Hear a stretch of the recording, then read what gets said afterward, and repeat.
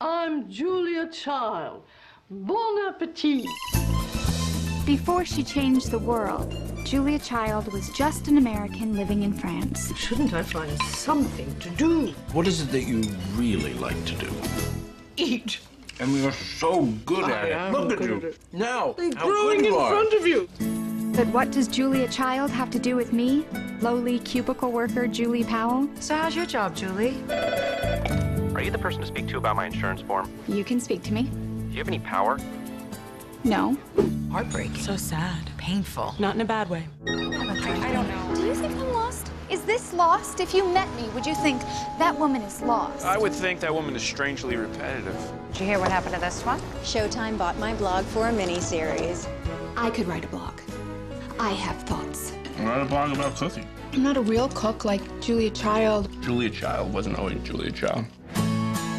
Why don't I go to cooking school? Bonjour.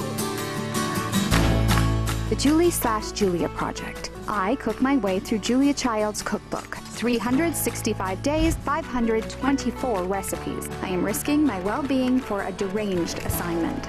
Is it crazy? Yes. You should have seen the way those men looked at me. But then they discovered I was fearless. Oh, Julia, you make it sound so simple.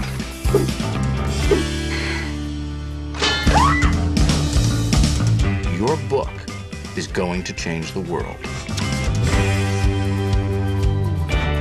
What if I don't make my deadline? I've wasted a whole year of my life. I used to be thin and now I'm fat. Just your face. It's supposed to be a big adventure, but it just turns out to be a lot of meltdowns. Yeah! There's all of this stuff on the floor! Oh, never apologize. From writer director Nora Ephron, Good. That is good, isn't it? Meryl Streep, Amy Adams, I was drowning and she pulled me out of the ocean. Don't get carried away. What's for dinner? What's for dinner? Hmm. Oh my. god. You have no real talent for cooking. Julie and Julia, based on two true stories.